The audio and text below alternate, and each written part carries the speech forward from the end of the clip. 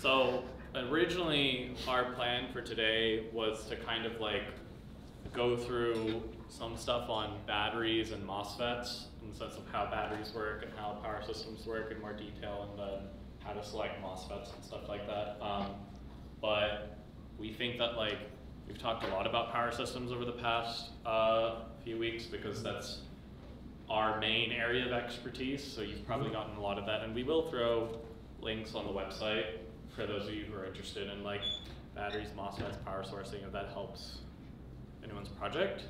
Um, but we looked at um, the layouts on uh, Altium 365, and I think people are struggling a little bit to get um, layout, um, like the intuition behind layout. So I think um, we first we extended the deadline to Tuesday. So if you don't know that layout is now due Tuesday. Before lab, we will design review you in lab sections. We're not going to design review you. Well, we didn't design review yesterday, so it's due Tuesday. Yep.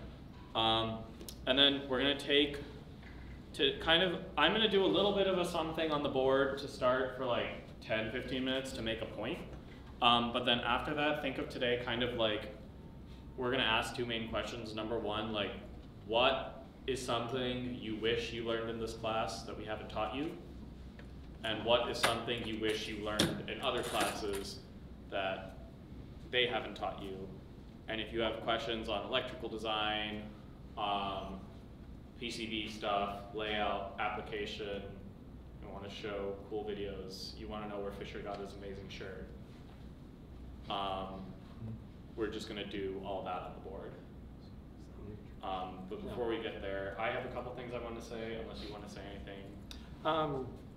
Yeah, all the purpose of today is like some combination of um, we we are looking through layout and we think that there's something missing um, just between like all the stuff that we've gone over in lecture with the class content and um, we're kind of noticing that there's like all right we gave you some math we gave you some practical skills. We think that there's like some intuition in the middle that we want to build and we want to um, get your input on where you currently are in oh no um, we want to get your input on like what that kind of intuition looks like to y'all um, because it's something that we've accrued over many, many years of building these kinds of systems. Um, and trying to figure out how to package that and how to distill it down into something that can be taught over a month is um, difficult. And it's something we need your input on. This is the first time we're running this, and we um, told you at the beginning it was a big experiment. So we're gonna, um, today's format's gonna reflect that a lot. Um, so the purpose of today is to like get a poll of like where your headspace is and um, incorporate that into, um, into what we're trying to do here, and then also just be a chance for y'all to pick our brains. Like if there's anything that you want to know about literally whatever, um, we want to be here and available for you because next week things are going to pick up a little bit. Um, we're going to be finishing up the speakers, going to be doing um, like some design reviews, grading, a bunch of logistical stuff. And so like right now is like um, a nice like pause right before all of that happens. So we want to make ourselves available and figure out where y'all are at. Does that hopefully seem like a reasonable thing to do? Cool. Um, with that, I will let you take it away. Um, so I think um, I just want to spend a couple minutes at the beginning of lecture before we just open up to you talking about um, why this class is called what it is called. Um, as you know, the class is called The Art and Science of PCB Design, not just PCB design or not just electrical systems or something like that. Um, we put a large emphasis on putting, making the word art appear in the name of the art and science of PCB design. Um, and I think that's because, at least to me, where great engineering lies is both at the intersection of science and art. And I think you don't get a lot of that at MIT. I think at MIT, you sit here and you're like, why don't we overanalyze this capacitor for 45 hours and then read a data sheet and pick one? You know, and then there's this whole side of engineering, which is like, like I think what excites us about engineering, right, is like science and art, or sorry, science and engineering. You use this to fulfill your like, uh, you you use math, you use engineering to fulfill your functional requirements, right? Like you have things you need your design to do, and math informs that design engineering, physics, all this stuff informs design in that sense, right? Like it makes you convince yourself uh, that like your system is going to work and it's going to work every time and like there's other methods we use and that's that's like the engineering part right?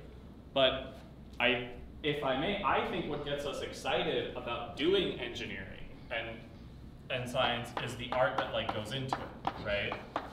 This is like i don't know this is what gets us excited so for me personally, one of the reasons I really wanted to do engineering was uh, both looking at like NASA rovers when they landed on the red planet, and then also like I'm a big Apple fan, but I'm to tell you why I'm a big Apple fan. Um, and the reason I'm such a large fan of all of Apple's products, and it's a large inspiration to everything I think I have done as an engineer, is because Apple is very good at doing two things. Number one, they build really, really, really robust products. Like there is so much detailed consideration, engineering, math, design that goes into building an Apple product. So that's over here, right? It works. Um, it just like, it's one of those things where it's like, you know, for those of you Windows users who turn on your computer every time you go through 65 different submenus, to get to the thing you want to get to, or the fact that it updates every three hours, right? It's just not as consistent as an Apple product. You can have your like you can have your takes on like which has been better, Apple's or Windows, and that's fine, right? But in terms of consistent user experience, not many things beat an Apple product.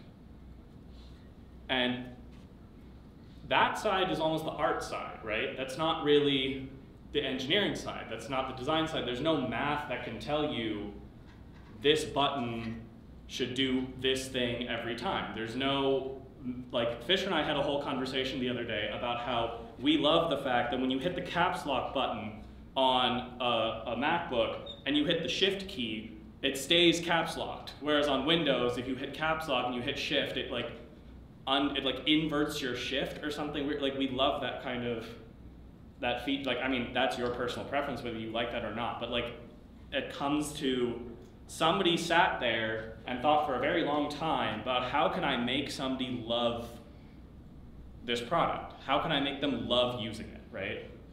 And that's like, and that's the art side of engineering. That's not, that has nothing to do with, like nobody sat there and quantified how long you should hold down the caps lock. Like nobody cares.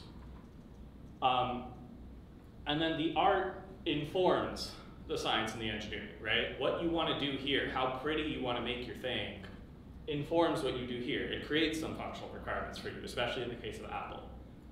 Or like if you look at the Mars rovers that, that land on Mars, like they just look awesome, right? Like you look at them and you're like, that's like you didn't get excited because it uses a radioisotope to heat. Like when you were six years old, right? You didn't get excited that it uses a plutonium radioisotope to decay to heat the system while it's whatever. You got excited because it just looks freaking awesome, right?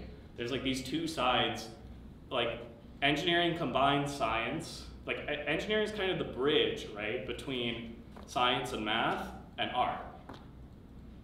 So my argument here is that like I want you guys when you're designing systems where your passion gets shown is both in the side of like how well did I analyze the system to make it work, but also just how pretty is it when it comes out, right? So if you just throw a whole bunch of components on a PCB, it could be the best routed PCB in the world electrically, but if it doesn't look beautiful, you're not gonna feel excited about it. We're not gonna feel excited about it as a product design, right? Like, aesthetics, I think, is not valued as much as it needs to be in teaching engineering because like that's what gets us excited about the product, right? Like it's not excite like we're excited because it's beautiful. And when it's beautiful, you assume it's well engineered. And what we want to try to get you to think about is how do you make it beautiful and well engineered? Because there's many companies that focus on the beautiful. There's many companies that focus on the well engineered, but there's not a lot of people who can do both well. And I think that's where truly excellent engineering sits. And that's why Apple is one of my favorite companies, or like even NASA. They like their their stuff is beautiful and it works. Um, so that's just a little like, when you're laying out your PCB, if you're really struggling about where to put components, part of me thinks something we've been doing, like, because we've been discussing the entire class of like, oh, put your bypass capacitor here, this is the value, like, get this trace as short as possible and stuff like that. Yes, think about those kind of things, right? But if you're struggling to do that, just start by putting components, start by grouping components that are like supposed to be together together, obviously. But then after that, think about how can I arrange this so it looks pretty? And that's not, I think, I feel like a lot of the time we sit here in classrooms and we teach you guys like, it's not valid to do things because it's pretty. That's bad. Do math. Analyze it to hell and then, there goes my chalk. Analyze it to hell and then you'll get the answer, right? But sometimes math can't tell you the answer. And I think we should stop pretending that math will always give you an answer.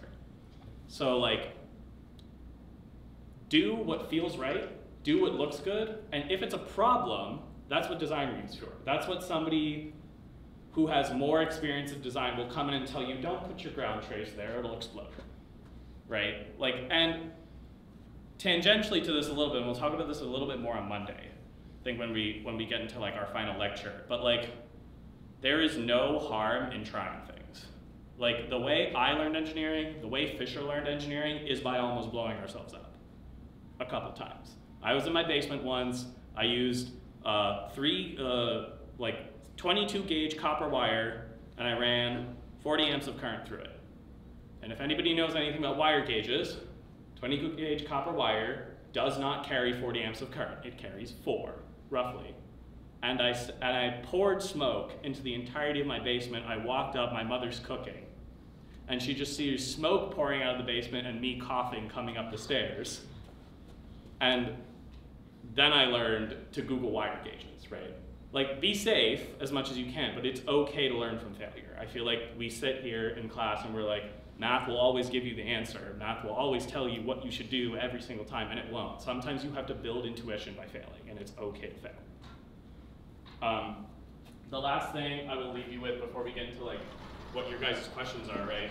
It's like over here, I think is what we've been teaching in lecture a lot in terms of math, like what, uh, this is, I define, this is kind of how I define engineering a little bit. Over here you have the math, which is like, I have a capacitor, how big does it need to be? What equations can like tell me how big my components need to be? How thick does my beam need to be if it's if I'm bending a beam? How like how large does my battery need to be or all that kind of stuff. And that's where math so it, it informs your design.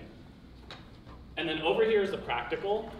Um, I think another issue sometimes in lecture, what we do is we, we like, we do math on the board, but like at the end of the day, sometimes we forget that we're engineers and our job is to build something in like the real world. Right, so like knowing how to build something in the real world, I argue is more important than what the math is telling you to do. Because no matter what math you do, if you can't build what you've designed, what does it matter? So over here is the practical, and this is what we're trying to teach you in labs, soldering, uh, debugging PCBs and all that kind of stuff, right? And then there's, there's block in the middle here, which I like to call intuition. Um, which I think is the bridge between the theoretical and the practical to some extent, right? Like intuition comes from us trying things that informs our design. Our design informs us trying things. Like once you once you have enough design experience, like people who've taken I don't know course twos, you've taken 2001, you know that um, the stiffness of a beam and bending goes by the thickness squared. But you don't need to always calculate, right? Like sometimes you sit there and you're about to build something, you have two sticks in front of you, and one is thicker than the other, and now you know you should use the thicker stick because that stick is in bending because you did math like three months ago that tells you this, right? But you didn't calculate that, you just made that connection in your head. That's intuition. And it goes, it goes both ways. Um, and I think labs focus a lot on this, lectures focus a lot on this, but there's it's very difficult to teach this. Because like this comes from years and years and years of trying things and breaking things and like not being afraid to fail, I think. So I guess our question to you today is how do we help you guys build this? And the rest of the lecture time is going to be what components are you missing from here and here to help you fill in this bridge? because this, I think, I think there's a lot of people who say you can't engineer with intuition, and I think that's true in the sense that you can't engineer with just intuition. You need the practical. You need the you need the practical. You need the theoretical, right? But that doesn't make intuition not important to engineering. The most, the best engineers that I know sit right here they have very strong intuition about what is happening in the real world and in the theoretical world. So we're going to try to help you build this. Um, so we're going to open up to you. What do you want to know?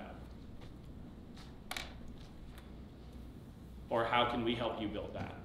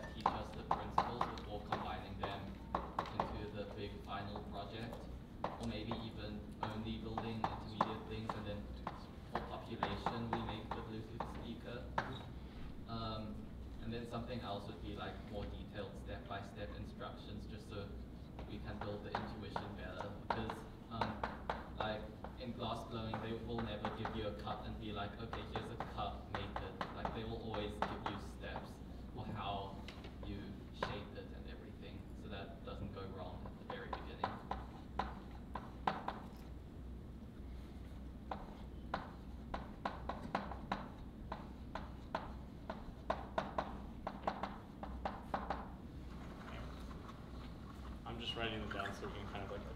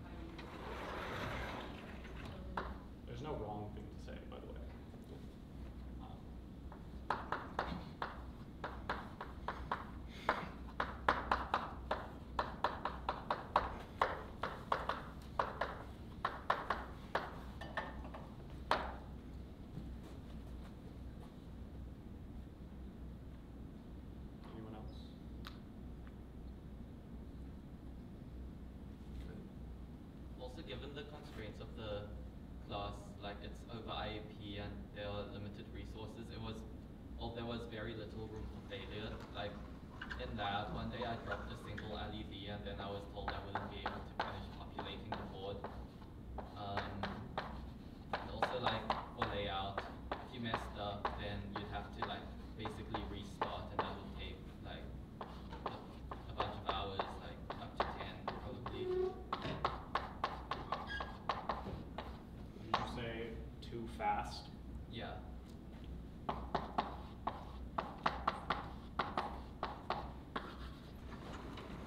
we agreed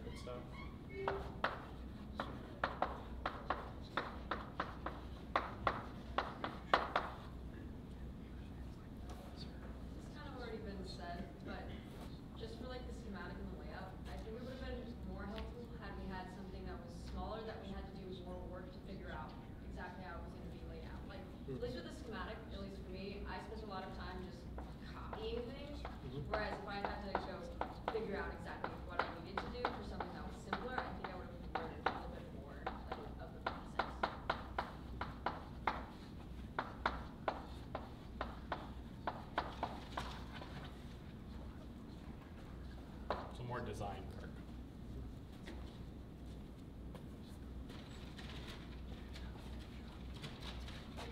If we, if we start over, maybe have Steve do that for the layout.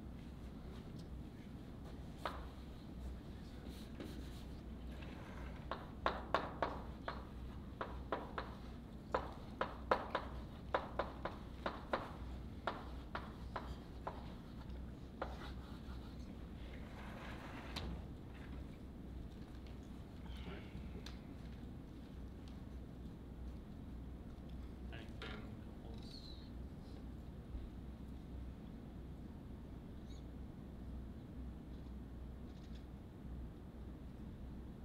Also for our list.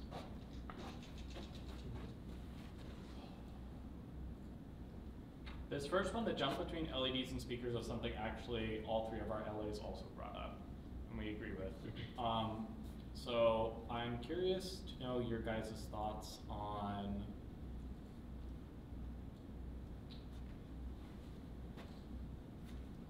Because I think a couple of things we could have done, right, is either you push this class to be a longer class, like in the semester, and you do small project, medium project, and then work your way up to Bluetooth speaker.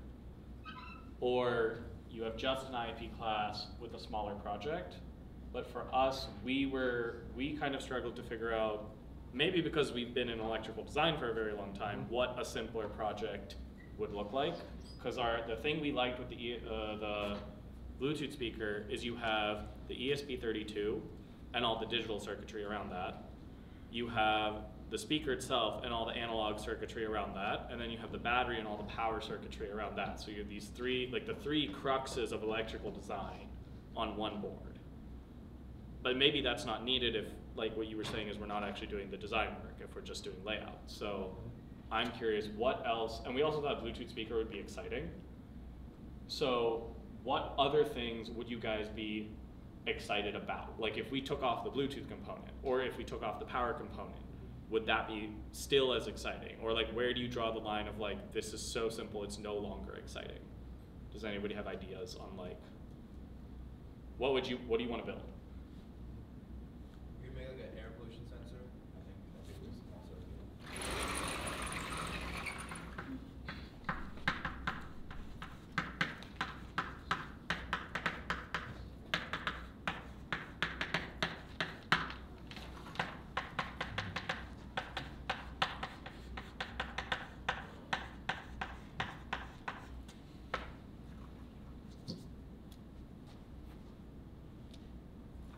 I guess this isn't exactly another thing because Bluetooth speakers are really cool. And now that we've been through it, it is like a really interesting project and it was really fun to hear people actually build their Bluetooth speaker and have it play.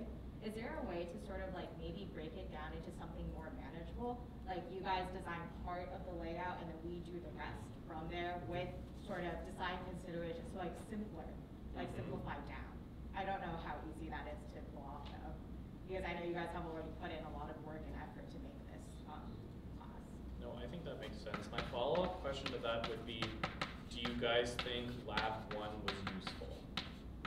And the reason I ask this question is because in lab one, we asked you to do the whole thing, like schematic layout of like this super simple thing. But what I'm getting the sense is that the intuition from that didn't, that was more like a how to use Altium, but it didn't really give you much in the rest of the project. So if we threw out lab one, and we started lab one with like, here's the stuff we designed, here's what you should design. We made lab one, lab two, like week one, like design kind of stuff. And then the first time you saw Altium was with the Bluetooth speaker. That might be intimidating, but is that still okay? Um, I guess like, um, and other people can jump in, but you could also potentially do it as a pre-lab, right? Because you guys did a lot of sort of, um, I guess, pub, or publicizing the class, so you could be like, oh, here's like a small tutorial for people who have done Altium before, you don't have to do this. Yeah, make lab for one and people who haven't, this might be a good like starting point to do on your own, and then we can start with lab one doing this, like, here's the Bluetooth speaker. Okay, that, that makes sense. Yeah. Kind of go along with that, with one, maybe with one of the earlier lectures, go over the layout review, like before doing interacting, because that was really helpful for just kind of figuring out some of the business stuff. And we do the pre-lab kind of any questions. Gotcha. When you say layout review, which one were you talking, The- like the, like how the this. Bluetooth speaker works, or the one that Fischer did like Wednesday. Wednesday? Yes. Okay, do that earlier. Yeah. Uh, yeah. Yeah, whatever, our lists are not organized anyway.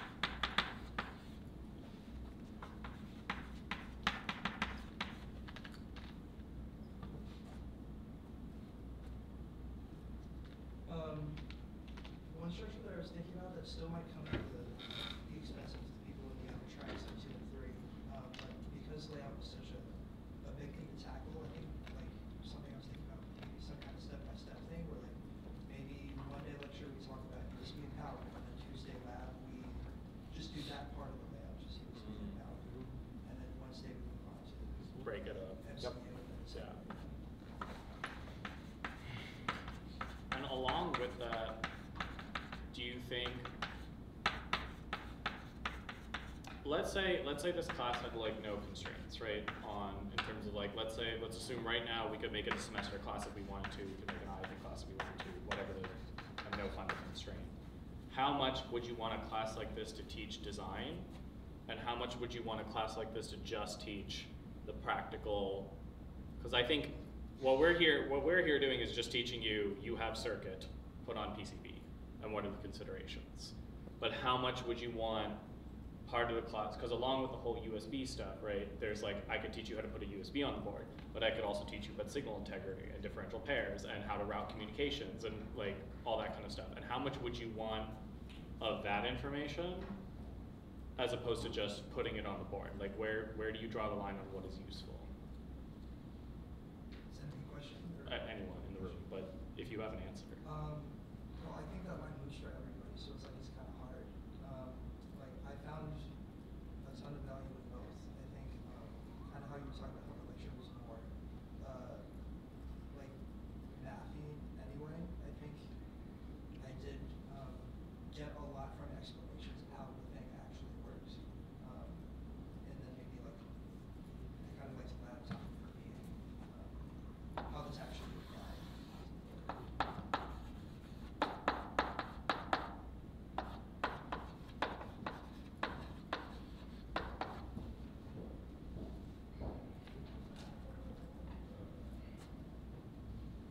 Cool. Was there a hand over here earlier?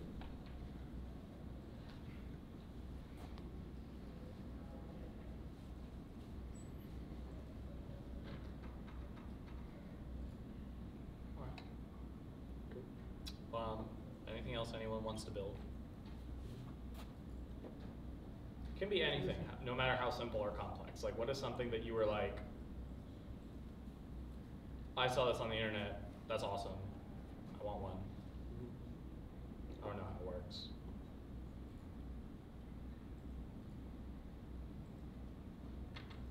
Come on, guys, I know no, you guys want to build something. You came to MIT. You didn't go to Harvard or Stanford or Caltech. You came here. So that means you like to build things. So, Yeah.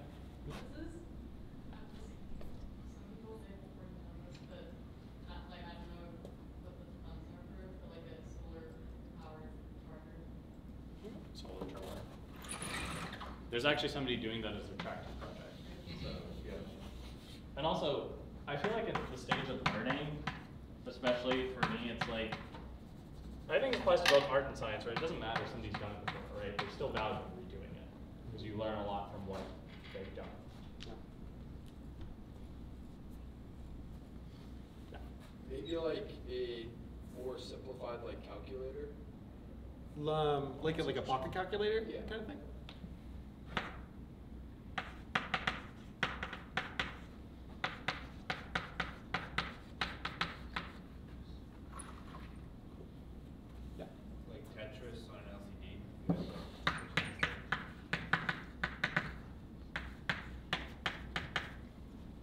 You should talk to TMRC.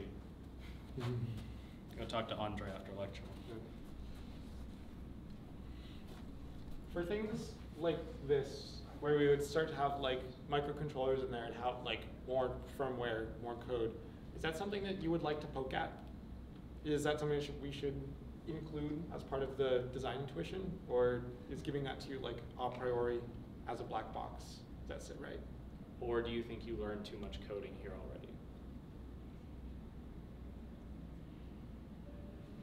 Yeah. I would say maybe not necessarily like all of the code, but for me personally, one of the roadblocks that I ran into in other projects was I didn't know exactly how to like set up the very basic boot stuff. Mm-hmm. Cause that's like usually done for us in other classes, so maybe that part. Like Sure. tool chain almost. Gotcha.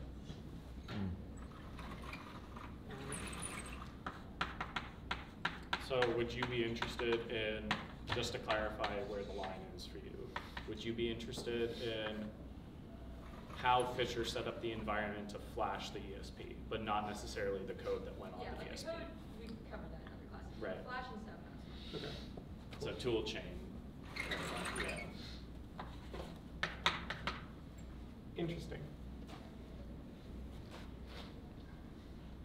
Which is an interesting point, because I feel Yeah. like that's almost the harder part in Yeah. certain cases. No, it is. and it's, it's also the thing that like we've struggled the most with, like in like our projects as well. Like the race, the tool chain for like compiling and uploading code for race car is built on like ten years of like terrible make files, and then like the program that like Addie's lab uses for like building code got like just got deprecated. deprecated. Yeah. So now like so and officially deprecated, which means we are now struggling to find another IDE that can do all the things we need Yeah. to do. It's it's non-trivial, so I'm glad you brought up that point.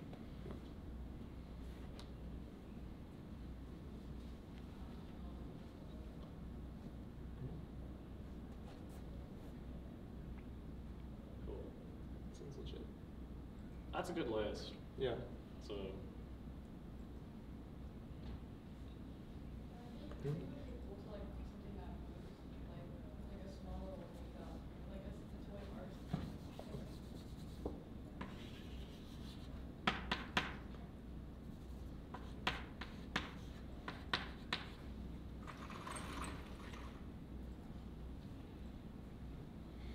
Yeah. Another fun one could be like you take a servo and then like make a game where you'll like press this like I don't know if you know the dyno game old school. Oh yeah. yeah, There's something where like you take one of the sensors and you put on the dyno where the trees and then it jumps. oh yeah yeah yeah. When y'all were like signing up for the class and heard about it, um, what was it that got you interested in it? Like we um, we said like, all right, we're gonna like do a project.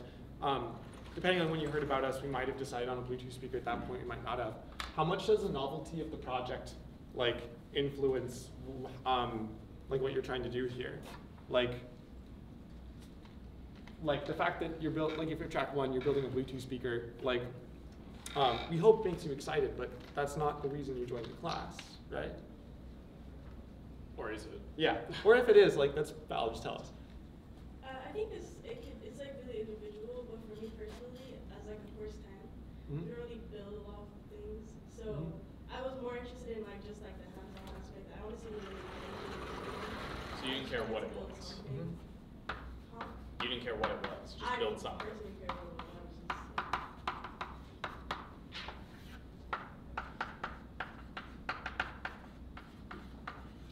Uh, I think I was like most excited about learning Altium because I feel like like I want to go into like chip design later, and I feel like that's like super practical. And,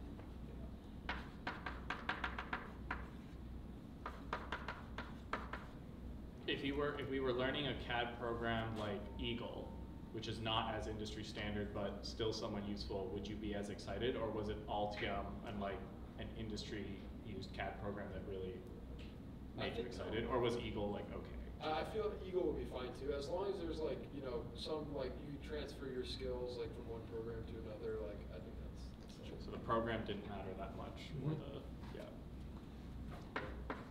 And we're huge Altium fans, but that's good to know.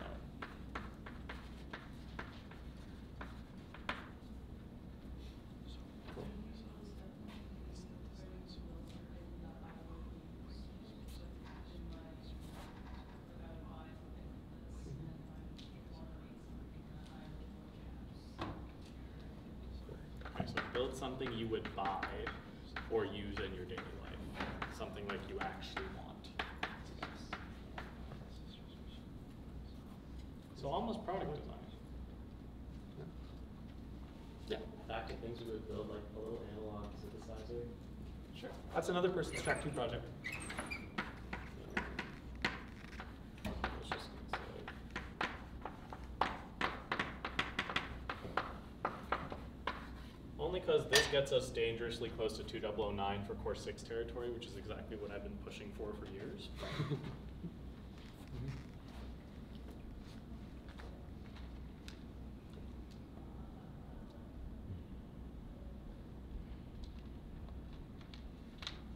Yeah. I think part of the reason I did was because it's an IAP. Um, That's right. It's like, it's a course and like a real semester, it'd be like hard to balance this, especially with like course six. Mhm. But like an IAP course is easier, more accessible. Fair.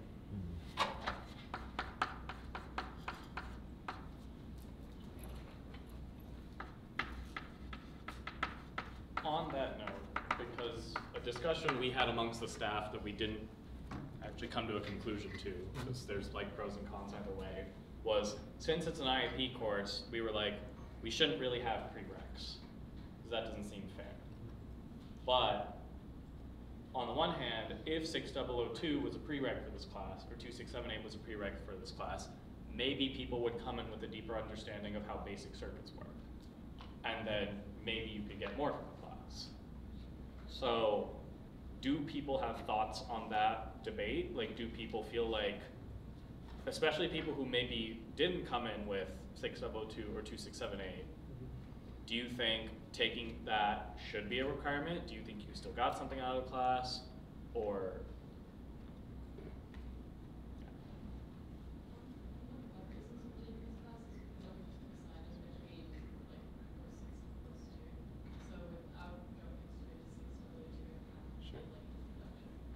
okay, okay, so that's, that's good to know. So that's probably on the no prereq side.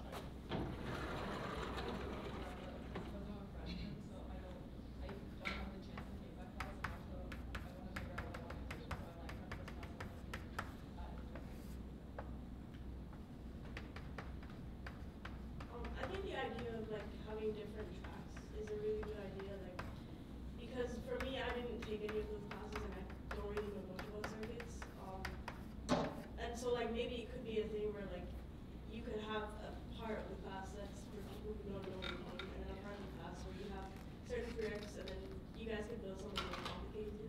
I think I would have really benefited from like more like basic information, but of course I, I couldn't expect you guys to teach all that in an IAP or. So, So maybe just one of the like one of the things 212, which is a Mechie robotics class, does is their prereq is 2004, which is a controls Mhm. class, and at the beginning of the semester, Professor Harry Asada has a like it's like a three-hour office hour lecture kind of thing that basically is just crash course in 2004, and now you can take the rest of the class.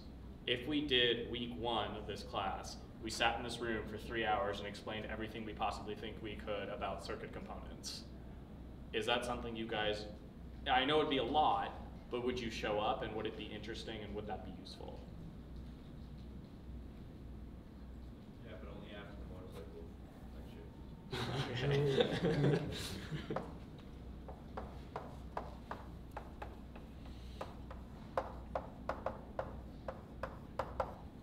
So actually, on that lecture, the motorcycle lecture, first lecture, because we staff has also gone back and forth on this lecture quite a bit, um, which is we thought that lecture was great in teaching you how to design something, but people like feedback was a little mixed in the sense that people were like, "It's great, we get what you were trying to do," but someone suggested maybe it's more useful if instead of designing like a large system like a bike, we like did that but for a PCB or like an electrical system. Now, if we had done that same kind of lecture but for a different system, would that have been useful or do people like the step back, look at a larger system that people kind of already have intuition on? Like in the sense like you all know how a car works. you already have intuition on that system, which is why we chose that system specifically. You didn't really need background knowledge going into designing, like I, it has to go, clearly. Um, or do you think for the rest of the class, would it have been more useful if we designed like a board?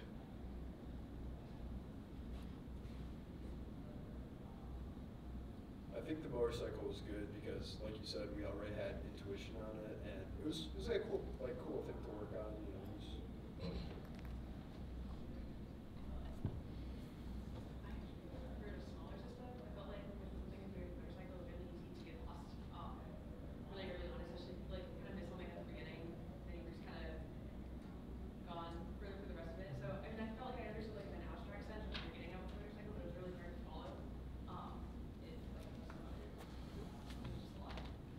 Is there an example of that of a, a smaller system that comes to mind that you think would be like more manageable to take a look at? It's okay if you don't have an answer. I'm just curious. Okay, cool. Do you have something? Just personally, uh, it was like good to see things in the motorcycle, but I think like the fact that it was like a large system was a little bit overwhelming at first glance.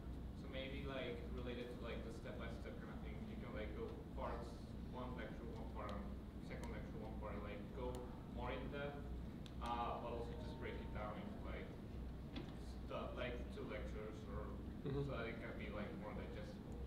Gotcha. Well, so it sounds like just a um, like a more like a deeper dive into each section a few times over, well paced out. Um, would you want to do like maybe layout in parallel with that? Like we talk about like um, say we talk about USB, the microcontroller, everything in lecture for a day, and then you go home and as your like homework is you route that part of the board, and then you do that over and over and over again. And by the time we get to layout, it's a series of like incremental things instead of just one big Herculean task. Does that sound a little more like approachable, somewhat more tractable? Okay, cool. Yeah, because I think you want to know like what why you put what you have on the board, like why do you stack? How do you know what goes on? Gotcha. Do you think, because I think we tried to do that with Fischer's lecture on how the Bluetooth speaker worked. Mhm. Do you think that was too much too fast? Yeah, a little bit. Okay. I think that lecture is super helpful, but it's pretty split into two main lectures, so there's one. I'm in LA, so I'm not really taking the class. But um, I do think, since I know a lot of people are confused about the Bluetooth speaker, and this is just me like spitballing here, but how many of you guys would like think it would be interesting if like, in addition to like the theoretical talks that that Eddie and Fischer have planned and such, like let's say we had lectures still operating like that normally. Like let's say we tackle at the end of lecture one part of the Bluetooth speaker device and we explained it in detail. And that would be a bit easier for you to digest over time so that you guys have an idea about like, and it, it, it could also tie to what the lecture topic will be that day, but it can be uh, an easier way to step into it. Cool. Kind of sounds like the concept that like people are kind of converging on is like do one thing and do it well, Yeah, but like space deep it out. dive in one thing. Yeah. Yeah. Okay. Especially for a shorter course. Maybe for a Yeah. longer course, we could have. Yeah. Cool. Sweet.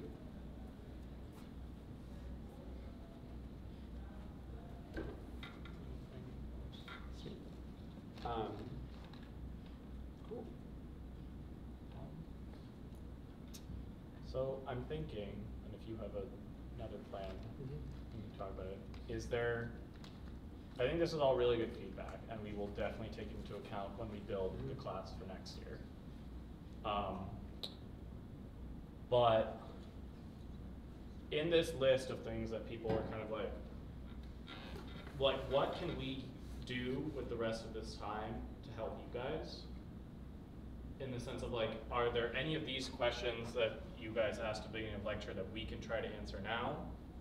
Or are there resources you want us to point, Mhm. you to, like? We're what also- can, what can we do to help you? What would be useful? Cause like, it's not like, all the way down to like, there's a transistor on the board and I don't know what it does. Yeah.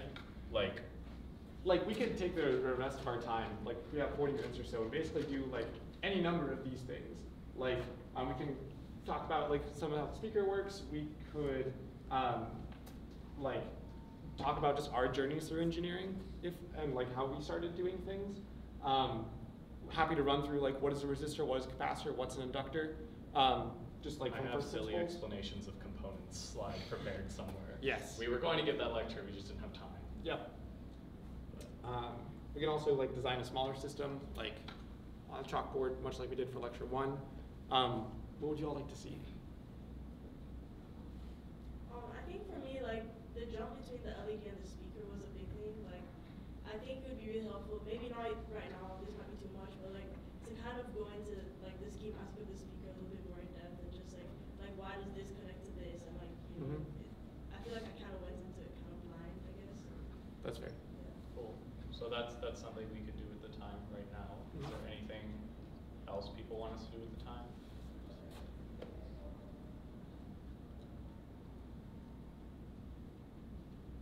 I'm curious Cool. about how y'all got started. We could do that too. Yeah. Your story's probably cuter than mine is. What's my story? You, like, you, know, like, you, you like setting fires in the basement. Oh, yeah. Yeah. I set a lot of fires to a lot of things. Um, how long do we have? How did I get started? Okay, so I got started. Well, my, my interest in science and engineering is when my mom, when I was very young, read me.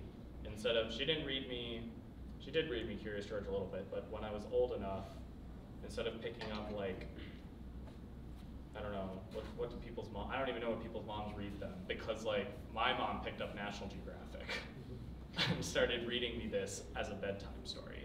Um, for context, my mom was an urban planner and also a geologist to the point where like she like we went to Grand Canyon and she'll like pick out the strata of the rocks and she'll be like this is the year that that rock was formed or something like she's a total science nerd. So she got me interested in science. Um, what got me interested in engineering is when my dad bought me a Lego Mindstorms kit. And it was like the most expensive thing I'd ever received up till that point. Um, we were like, we weren't poor, but we weren't rich. So it was like a, it was a meaningful gift that way. Um, and I just started playing with it, and I started with like the kids there. Um, got to about middle school, uh, there was Science Olympiad, and I was always like, I think, I always liked building, like I, I spent a lot of time with Legos and stuff like that. So I just liked building things, and that helped build like my love for like just building things until like I would build things in my free time a lot. Um, but in terms of like how I got from like building things to like where I am now, I think there's two key experiences for me. One was my time on FIRST Robotics in high school. So um, our town didn't have a FIRST Robotics team. My good friend and I kind of pulled a group of people together and we were like, why don't we just go see if we can build a robot? So we did, and the team kind of grew, grew quite far after that. Um, what robotics taught me wasn't so much, I think, the math, that uh, math side of engineering. We did no math whatsoever ever. And our first robot um, a fun story of our first competition, first robot. There was one bolt holding the entire top of the robot onto the bottom of the robot, and we didn't. We hadn't realized, we hadn't learned about the concept of the lock nut at this point. So it was just a jam nut uh, that had been screwed on, and like one hit, that bolt came out, and the whole top of our robot ended up inside somebody else's robot.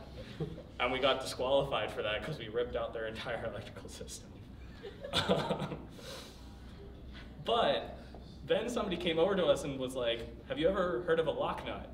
And we were like, What's that? The then 20, 20 high school students around their disassembled robot went, What's a lock? Um, none of us knew until someone someone came over and pointed it out to us. Um, so I think that taught me how to like be really good with my my hands and like building things. Um, and then what taught me even more is my uh, three years on Solar Car. Um, Solar Car is a is a time, definitely. But like I think there's like Caroline Jordan, Salem, Ali, Kwong, Francis, all these people who are like older members on Solar Car. Lisa, like there's a whole I can keep going. There's many of them, but like these are the people who like taught me how to channel how I want to build things and to how to build them well. They basically taught me everything I know about both electrical and mechanical design. That and like my mentor Elijah in lab right now has also taught me a lot about electrical design. So I think I spend a lot of time learning from other people and I also spend a lot of time on the side like if I have a crazy idea, I will just go to a makerspace and try it. Because worst case it doesn't work and I'm back where I started. There's no like harm. So I just spend a lot of time building things, I guess. That's my that's my story. Mm, It's fair. Interesting that you also started on Mindstorms because that's how I got mine too. Because like I, I literally for Christmas like one year, like we uh, like I was like I want to build stuff, and they're like, all right, but we can't give the kid an angle grinder or anything. So like let's just get him like a tiny little Lego set, and like that's was you had like the little NXT like the white brick, right? No, I will. It's funny you mentioned the angle grinder because that was my first tool. Oh. And the entire robot. First? It was my first tool. Explains a lot, Um, besides screwdriver and drill and normal house, my first actual tool was an angle grinder. Uh, we built a lot of robots with that angle grinder. Yeah. Um, I guess actually pretty similar. Um, I s- like saw like a Mindstorm stuff in like a catalog for whatever reason.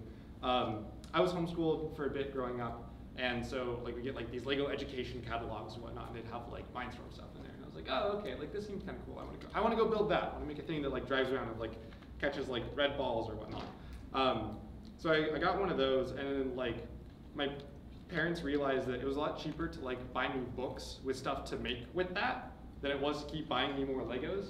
So there's like stuff on like how to make like Rubik's cube solvers and a bunch of like other weird stuff. Um, so I did that for a while, and also didn't have like a ton of resources growing up.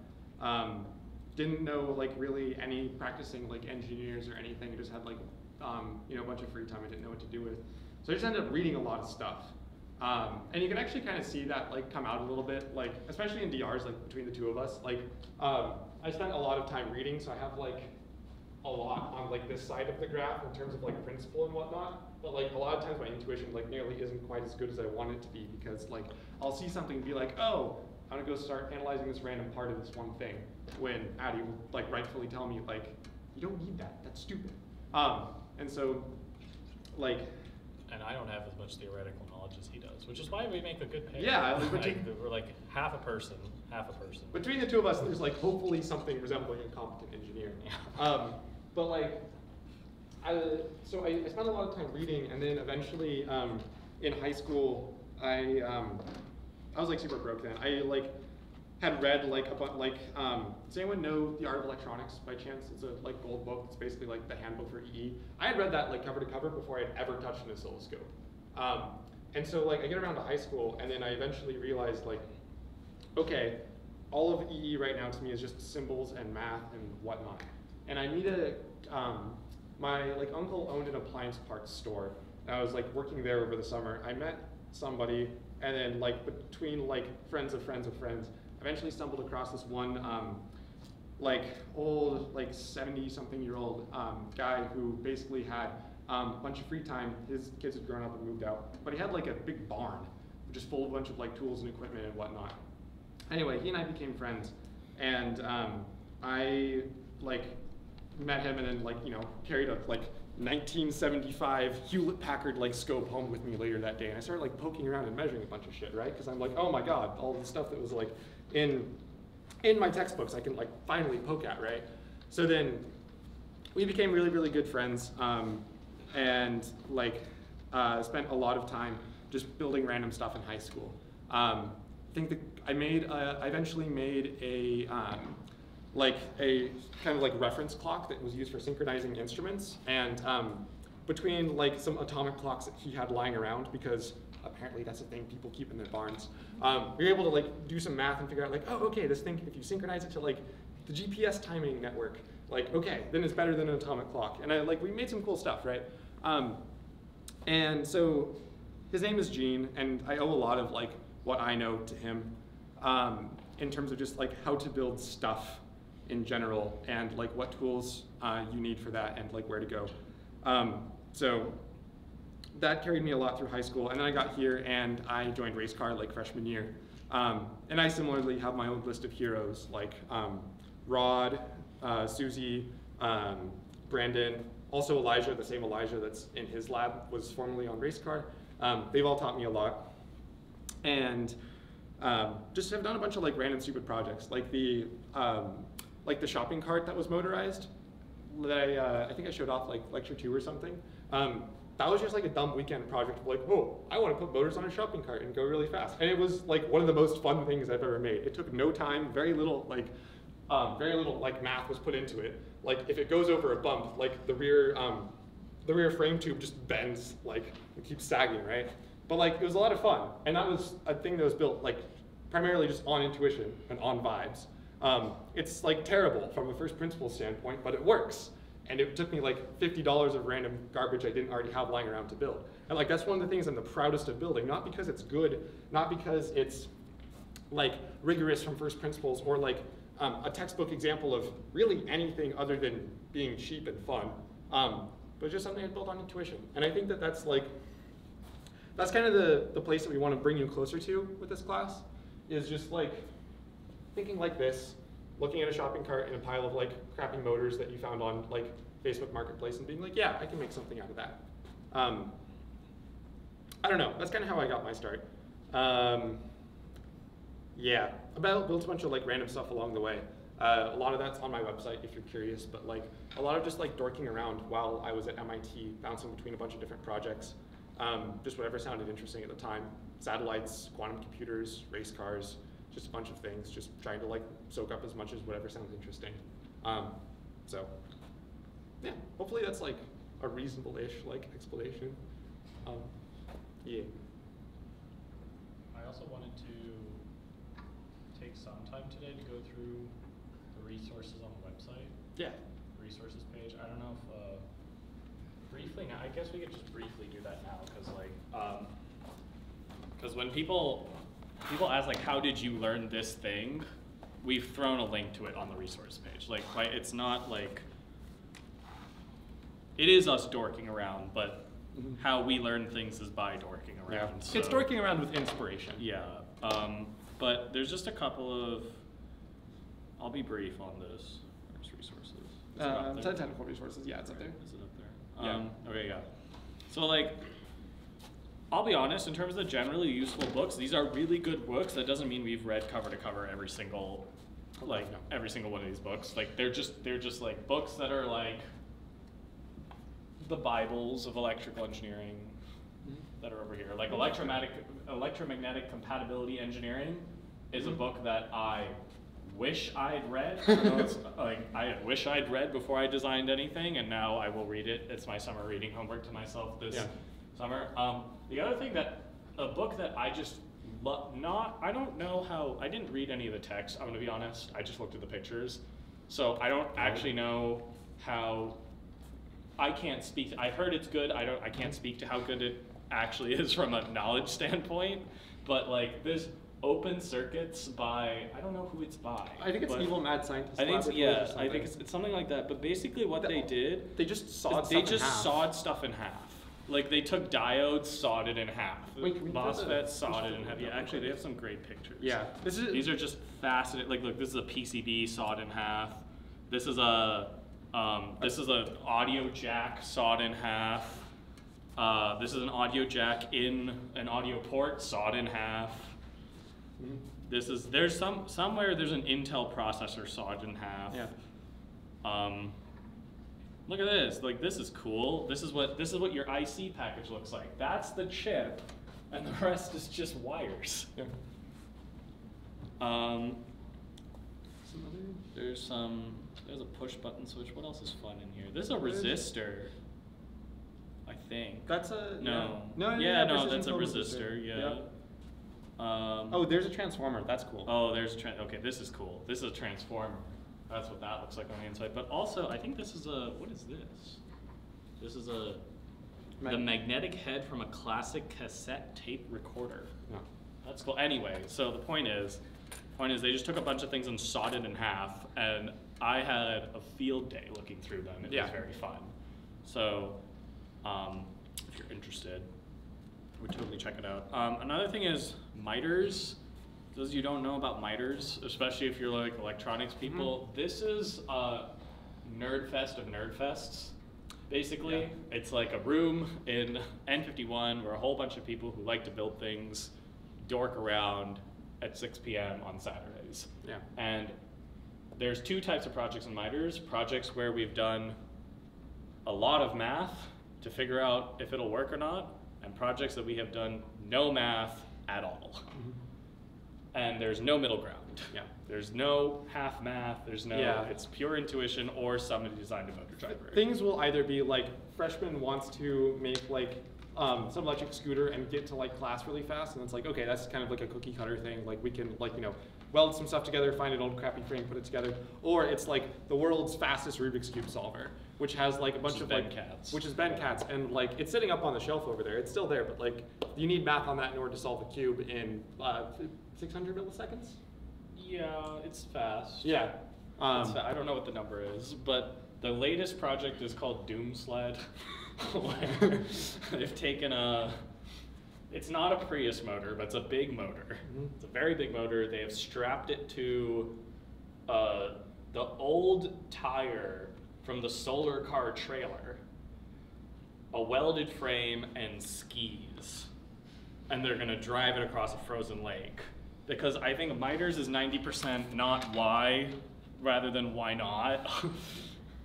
so you just kind of, you know, but they're a great group of people to hang around because you just you make so many stupid things, but you learn a lot doing it. Like it builds a lot of intuition on like when it blows up, you Mhm. know exactly why.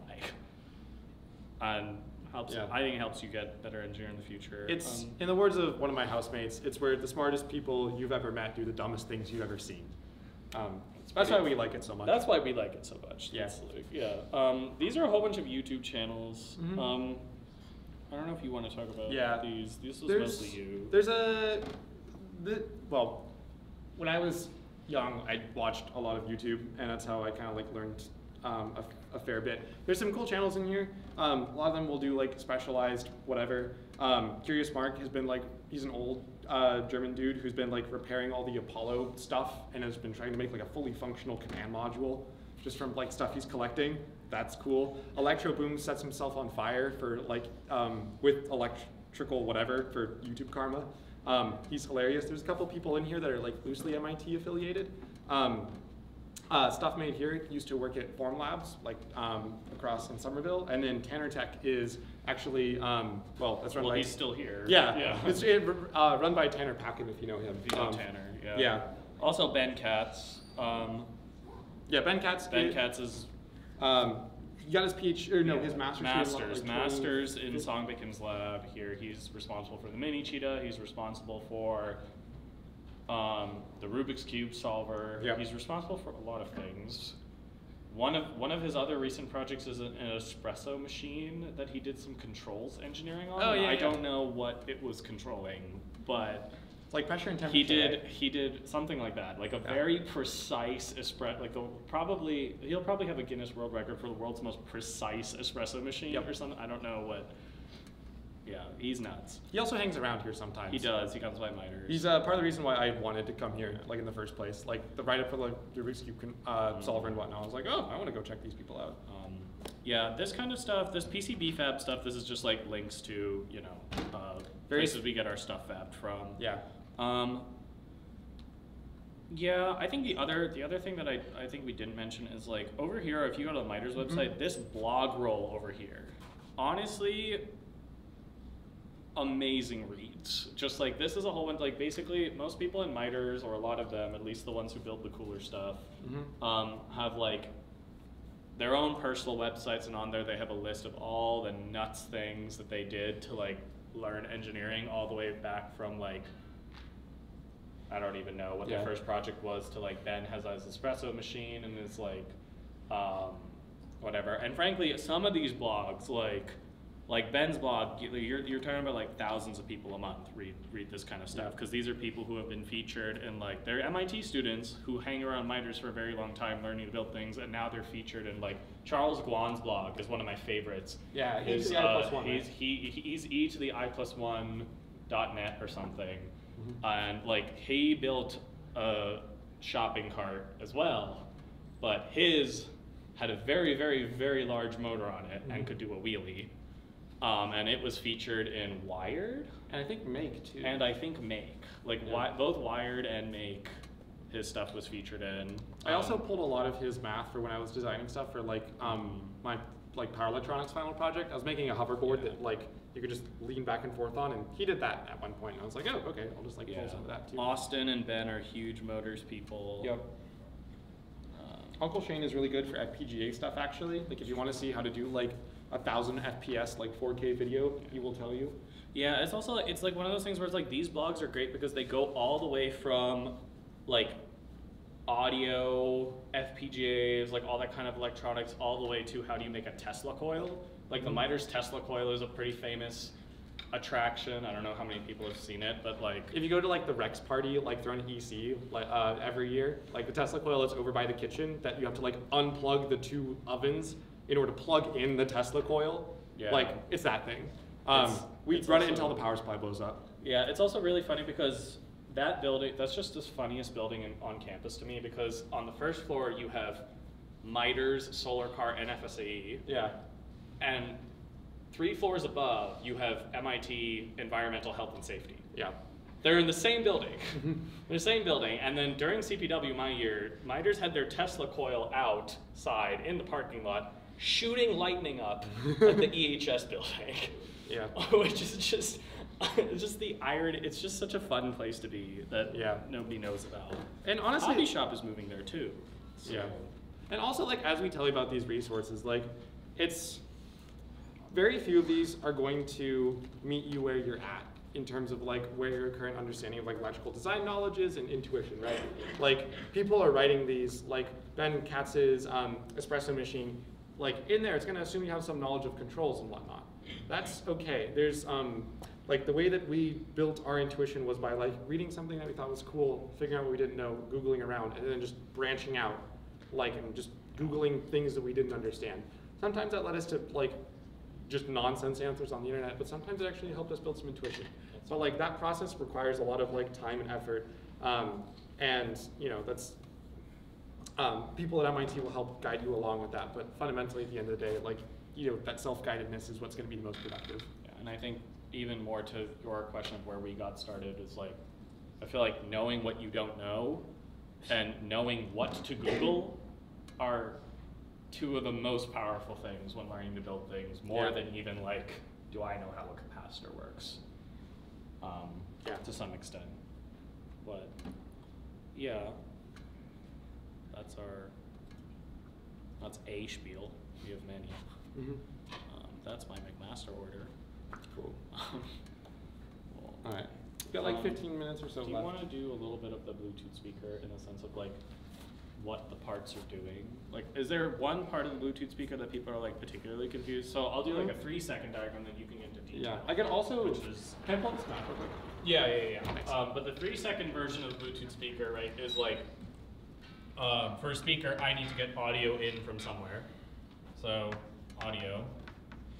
I want like my banging Spotify playlist going through this thing, so I need something that has Bluetooth and will also control things like volume and will control things like like and like send that Bluetooth signal that's coming in and create something that will go to the speaker, right? So that's my ESP. Um, ESP32 is just a microcontroller. It's a very standard microcontroller they use that has the reason people like it is because there's Bluetooth and Wi-Fi and all this other kind of stuff inbuilt. And it's cheap and Um, in stock. And it's cheap and in stock. That's a big one. So audio comes in, it goes to, I'm gonna call it thing one, which is taken Bluetooth audio, and that sends out. Um, in here we do volume control. In here we do like signal processing, and we send out audio as some sort of waveform. But most of the time, especially if we're using an ESP32, this is a digital system because most processors are digital based. So whatever it's sending out is audio, but in digital form. People following me so far?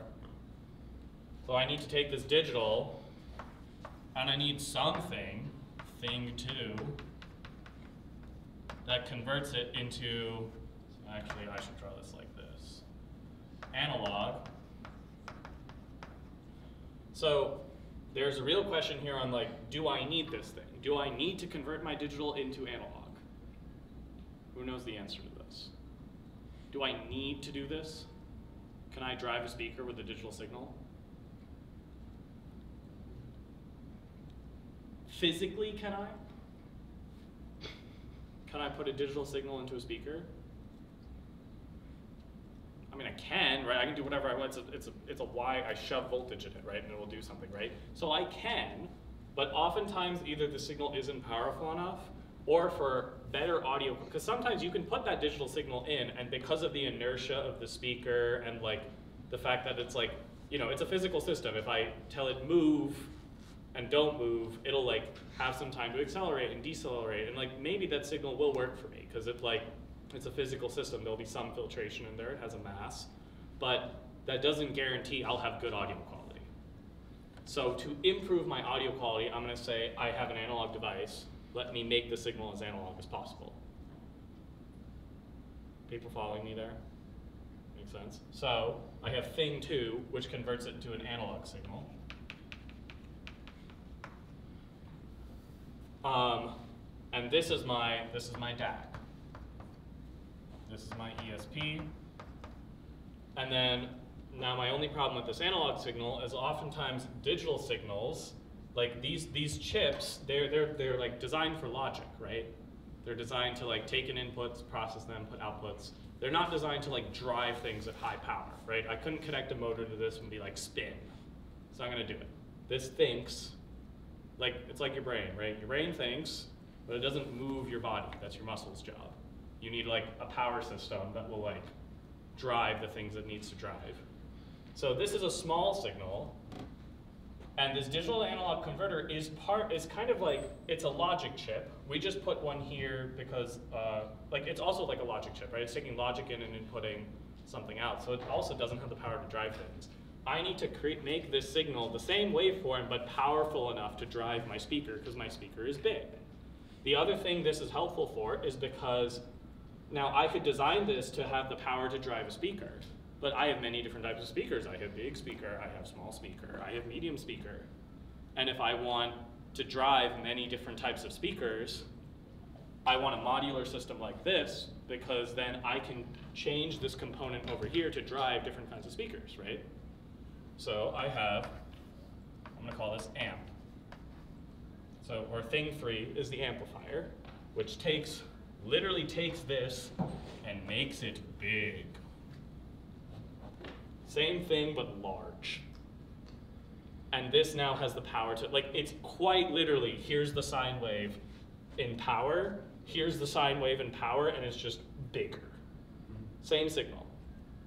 Just so that I now have the energy required, and this is connected to my 12 volt power supply. This is connected to a 3 volt power supply. This is connected to a 3 volt power supply. So I need to create 3 volts from somewhere, or it's 5 volt.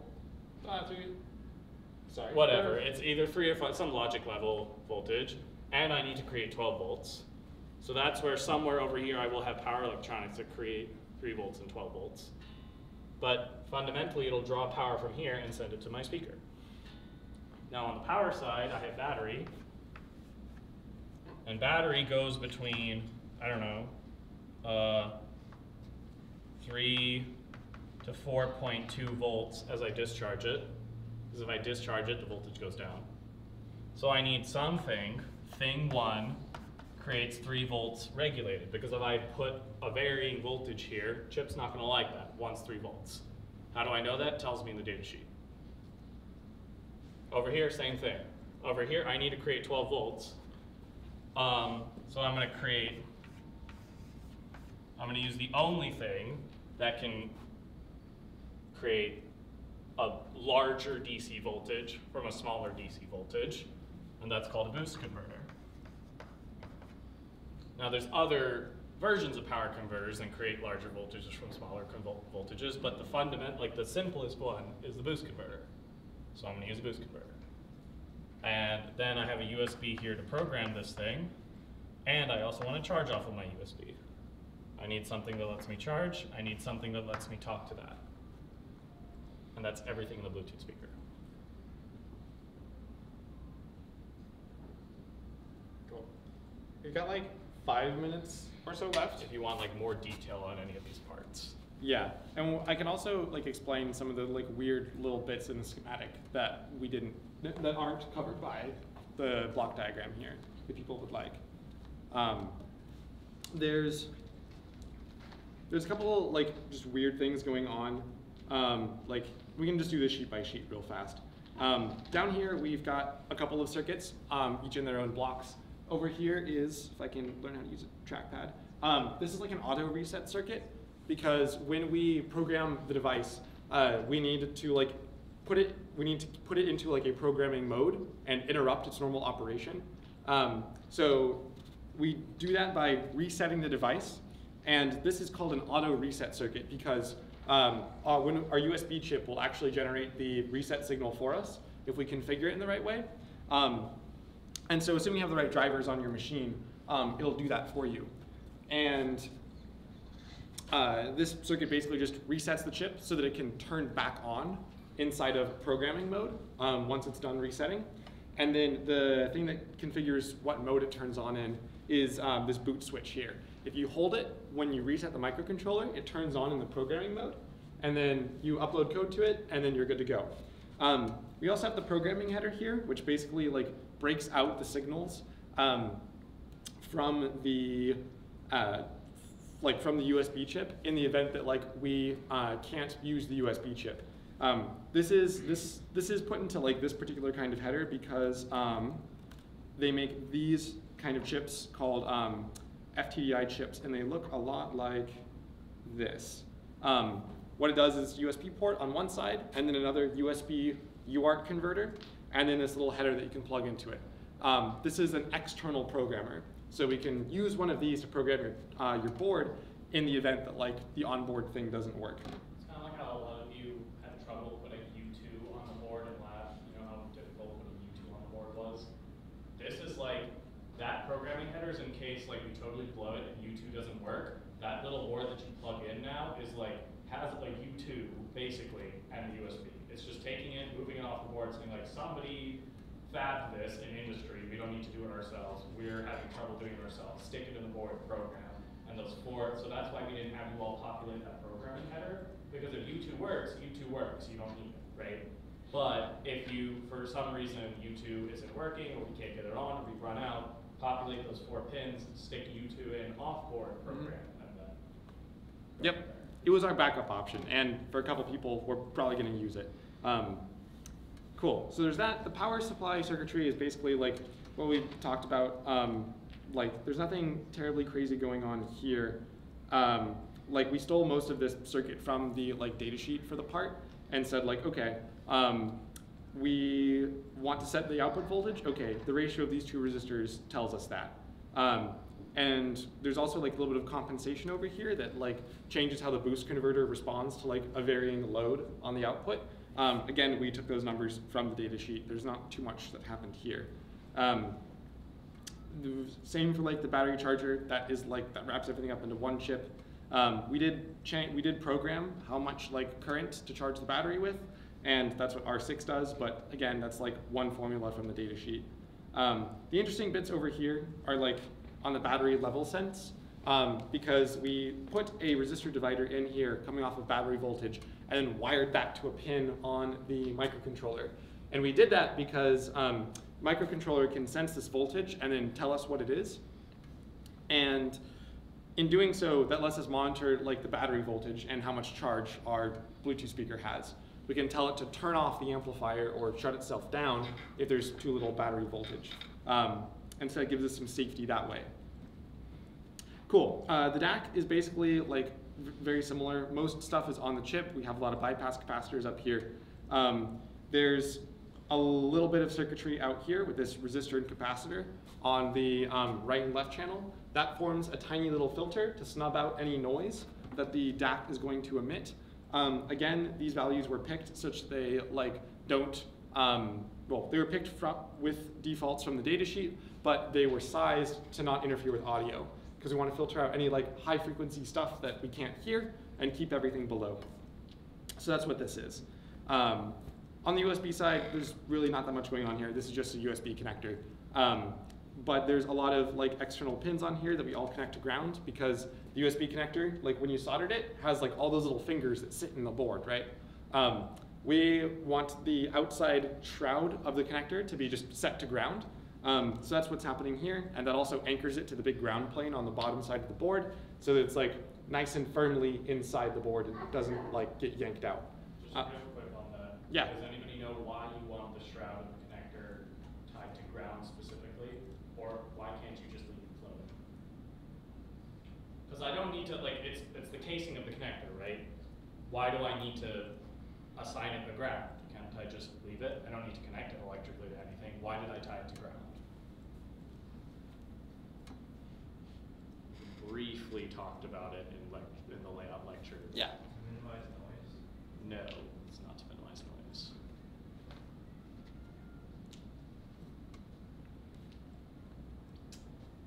It does minimize noise a little bit as like a byproduct. Kind of, it's not a but- primary reason, but Yeah. like, if I go around in my socks on the carpet like this, what happens to me? And then I'm gonna go touch Jesse. It's not gonna work because Don't I do don't have that. my socks. Don't do that. touch Jesse. Don't do that. Jesse doesn't want to be touched. But if I went to touch Jesse, what would happen? Uh, there would be charge buildup and it would just fry the board. Didn't you guys do this to your friends in elementary school? You went like shock them because it's really funny, Mhm. right? Yeah. This is called electrostatic buildup, and then the shock is called electrostatic discharge. So a lot of the time, what'll happen is like there sometimes there are specific chips that protect against electrostatic discharge, but it's called ESD protection, which is kind of like most of the stuff we design doesn't really have stuff like that because we kind of know who's interacting with it and we're very careful, right?